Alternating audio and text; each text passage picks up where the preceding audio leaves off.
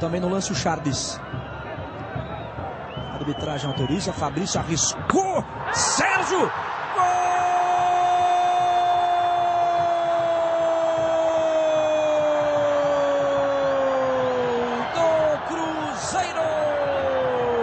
Fabrício, número 5. Aos 29 minutos está ali o Fabrício. Fez ali, colocou polegar da boca, imitando uma mamadeira, uma chupeta. E você vê de novo aí, ó, com muita precisão. Tocou no canto direito. Sérgio foi na bola, ainda gritei Sérgio, mas ele espalmou para dentro. Dois para a equipe da portuguesa. Diminui o Cruzeiro. Bola parada, bronca do.